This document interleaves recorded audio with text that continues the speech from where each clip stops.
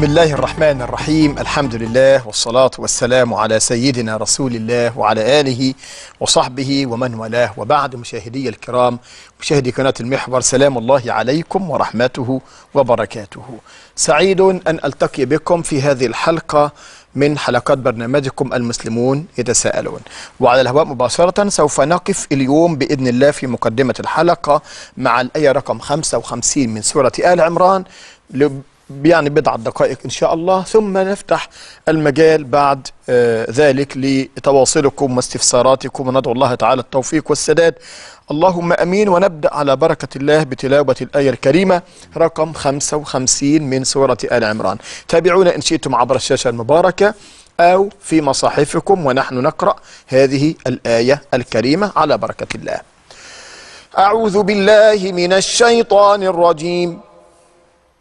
بسم الله الرحمن الرحيم إذ قال الله يا عيسى إني متوفيك ورافعك إلي ورافعك إلي ومطهرك من الذين كفروا وجاعل الذين اتبعوك فوق الذين كفروا إلى يوم القيامة. ثم إلي مرجعكم فأحكم بينكم فيما كنتم فيه تختلفون.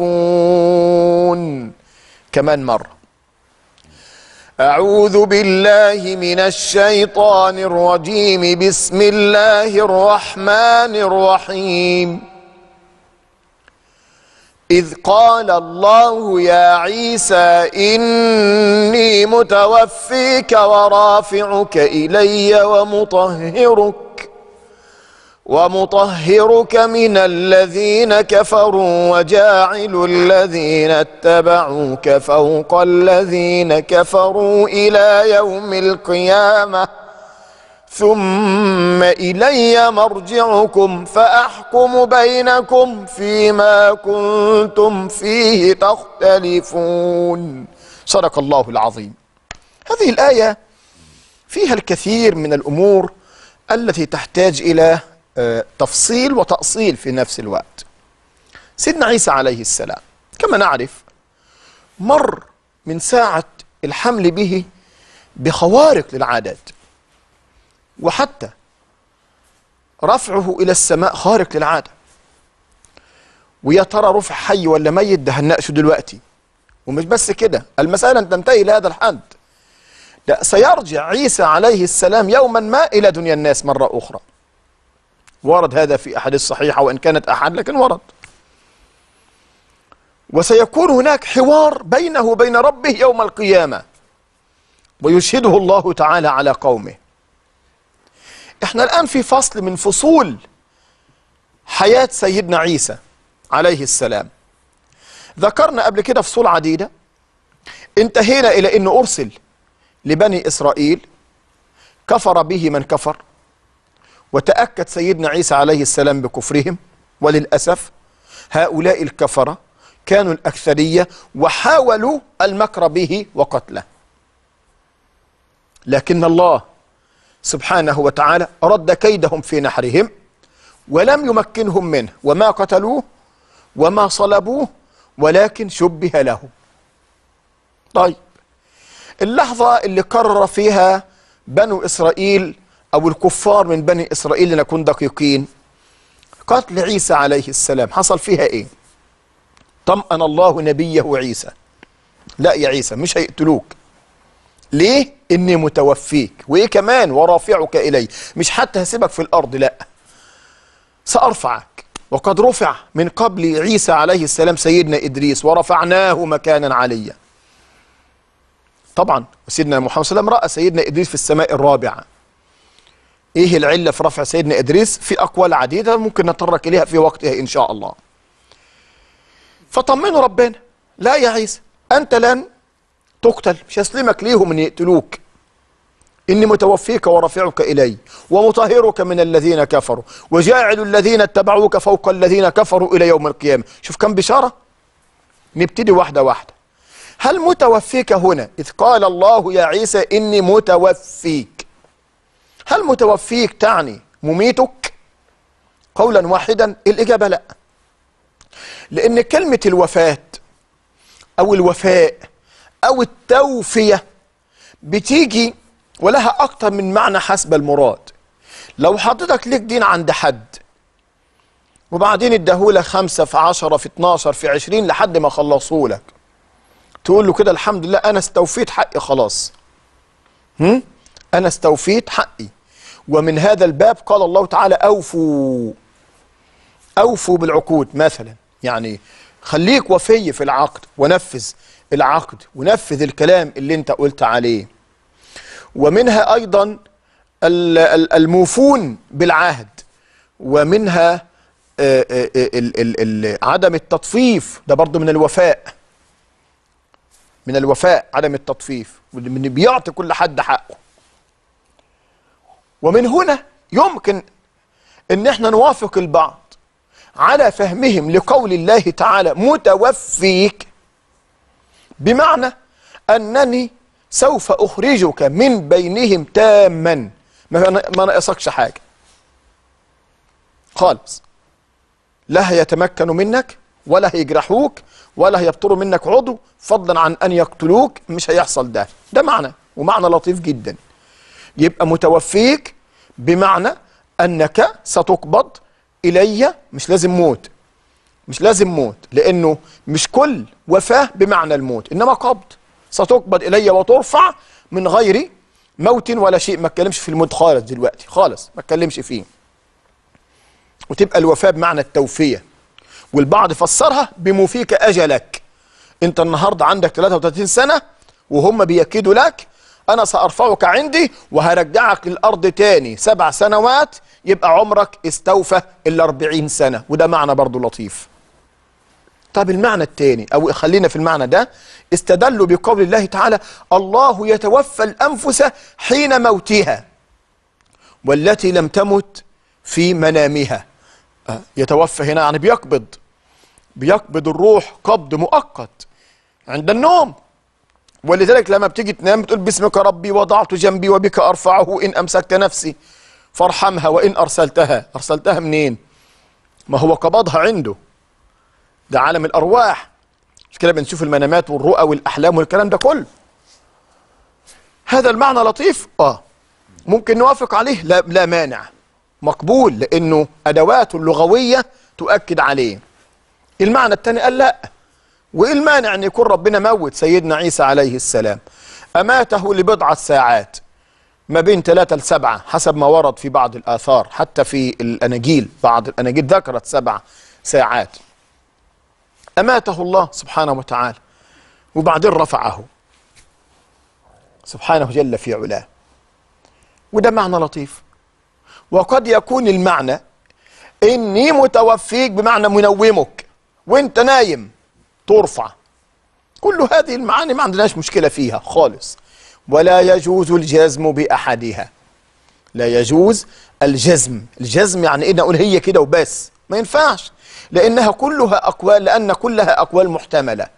وأنا في يوم من الأيام وأنا يعني من حوالي مثلا 20 سنة كده ولا حاجة صغير كنت على المنبر بقول يعني وقد رفع الله عيسى حيا بعد ما خلصت الخطبة حد قال لي يا مولانا آه، بس في في رأي الميت. فأنت يا مولانا على المنبر. ده اللي أنا استفدته بقى وبقوله لكم مشايخنا. لا تقول رفعه حيا ولا رفعه ميتا. كن رفعه الله وخلاص. وربنا قال بل رفعه الله إليه. خلاص. وكلمة متوفيك زي ما قلت لكم كده محتمله قد يكون مفيك أجلك. قد يكون مستوفى جسدك لم ينقص منه شيء. قد يكون متوفيك بمعنى منيمك منيمك أو منومك. وقد يكون بمعنى مميتك. فإحنا يعني ما نقفش عند الموضوع كتير. لكن في كرامة. قطعا في كرامة. حتى لو كان المعنى بمعنى الإماتة ما ربنا بيموت بموت الجميع. المشكلة. طيب الكرامة فين بقى؟ ان أنا رافعك إلي. مش هتبقى في الأرض يعبث بيك. ولا هيبقى لك قبر معروف يروح ينبشوه إنما أنا سأرفعك إلي. الله طيب يرفع إليه بقى. هناك سيكون حيا. حياة كاملة بجسد وروح ولا حياة خاصة بالروح دون الجسد؟ القولان محتملان. ما عندناش يقين بده ولا بده لكن القلب يميل. القلب يميل إلى كون الحياة حياة خاصة كحياة الشهداء. هي أجساد الشهداء فين؟ تبقى في الأرض. لكن أرواحهم عند ربنا سبحانه وتعالى. طب ربنا قال إيه عن الشهداء؟ قال ولا تحسبن الذين قتلوا في سبيل الله أمواتا بل أحياء أحياء عند ربهم يرزقون. فلا يمنع أن يكون عيسى عليه السلام كالشهداء. لا. ده أكتر كمان من الشهداء لأن جسده ليس في الأرض. لأن جسده ليس في الأرض. الشهيد جسده في الأرض. وحياة الشهيد حياة روح. ربما تكون حياة سيدنا عيسى كاملة بجسد وروح باعتبار أن جسده رفع. وربما يكون الجسد رفع أيضا لكن الحياة حياة برزخية أو حياة أرواح زي الشهداء. الله أعلم بهذا أو ذاك. لكن في النهاية هذه كرامة لعيسى عليه السلام. هذا حفظ حفظ ربي سبحانه وتعالى لعيسى عليه السلام. طيب متوفيك إلي ورافعك. متوفيك ورافعك إلي. إذن هو عند الله سبحانه وتعالى. خلاص. وثبت في الحديث في ليلة الإسراء أنه في السماوات لقيه النبي عليه السلام مع مجموعة الأنبياء الذين لقيهم. لقي موسى لقي هارون لقي عيسى لقي يوسف لقي إدريس لقي آدم وفي السماء السبعة لقي إبراهيم كما نعرف. فهو ضمن هؤلاء الملائكة الكرام الذين لقيهم عليه نبينا محمد عليه والسلام في ليلة الإسراء والمعراج. ماشي. ومطهرك من الذين كفروا. إحنا مش هنسيبك. في وسط الكفرة دول اللي كفروا بيك إنما سوف نخرجك طاهرا مطهرا. بعيدا عنهم وبعيدا عن معاصيهم وبعيدا عن أخلاقهم السيئة. ومطهرك من الذين كفروا. ده في بشارة بقى مهمة جدا. وجاعل الذين اتبعوك فوق الذين كفروا إلى يوم القيامة. الله! أنا عندي هنا مسألتين في غاية الأهمية. جاعل الذين اتبعوك. مين هم دول؟ اتبعوك دي. مين هم؟ نمرة اتنين. فوق الذين كفروا الفوقية هنا. هل هي فوقية معنى ولا فوقية مادة؟ خلي بالكم وده مسألة في غاية الأهمية لأن لو فوقية مادة هيبقى فيه خلل كبير قوي في الفهم ويبقى عندي مشكلة كبيرة قوي مش هقدر أحلها. طيب نتفق الأول أو نفهم الأول جملة اتبعوك وجاعل الذين اتبعوك. من هم أتباع عيسى؟ حد يقول لي الحواريين. ماشي. ماشي.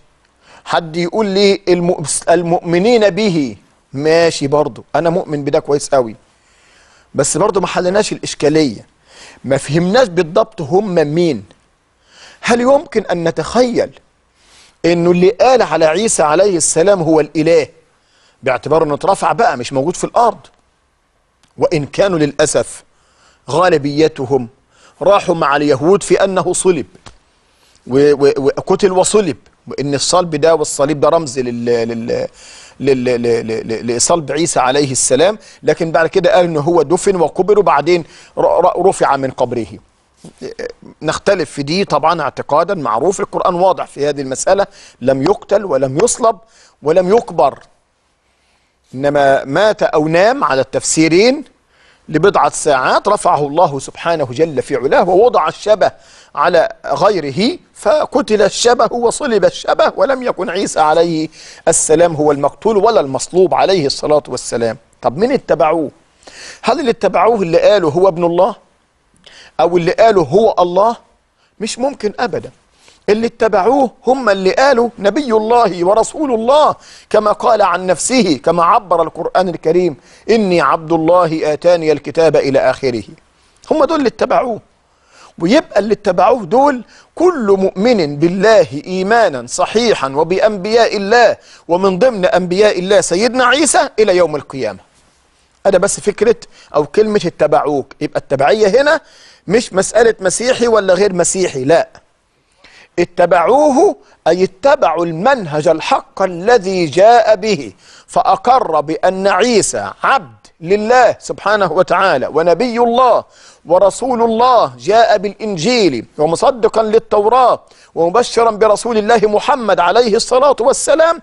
ولما جه محمد آمن به وآمن بكل ما يقتضيه الإيمان. هم دول اللي اتبعوا سيدنا عيسى. خلاص؟ جبنا الكلام ده منين؟ جبنا الكلام ده من القرآن. لما القرآن يقول عن المشركين واليهود والنصارى كل فريق منهم ادعى النسبة والشرف إنه بينتسب لسيدنا إبراهيم وإنه الأحق بسيدنا إبراهيم. يقوم ينزل القرآن يقول ما كان إبراهيم يهوديا ولا نصرانيا ولكن كان حنيفا مسلما وما كان من المشركين. وبعدين نقول إن أولى الناس بإبراهيم للذين اتبعوه وهذا النبي والذين آمنوا. أولى الناس بإبراهيم اللي اتبعوا إبراهيم في المنهج الحق. هذا النبي الذي هو محمد الذي جاء يكمل مسيرة إبراهيم وعلى ملته. والذين آمنوا بمحمد وبإبراهيم وبموسى وعيسى بكل الأنبياء السابقين هم دول الأولى بإبراهيم. فالأولى بعيسى أيضا والمتبعين لعيسى أيضا هم هؤلاء الموحدون. في أرض الله والمؤمنون بالله ورسله وكتبه واليوم الآخر والملائكة والقدر. هؤلاء المتبعون لعيسى عليه السلام. ودول المبشرين بقوله جاعل الذين اتبعوك فوق الذين كفروا. هل الفوقية مادية ولا معنوية؟ هنشوف ده بقى بكرة إن شاء الله في مطلع الحلقة بإذن الله سبحانه وتعالى ونقف كمان مع الجمل الأخيرة ثم إلي مرجعكم فأحكم بينكم إلى آخره ونخرج الآن إلى فاصل ونعود بعد الفاصل بإذن الله لنستمتع باتصالاتكم وبأسئلتكم وندعو الله تعالى التوفيق والسداد في الجواب. بعد الفاصل نتواصل فتابعونا.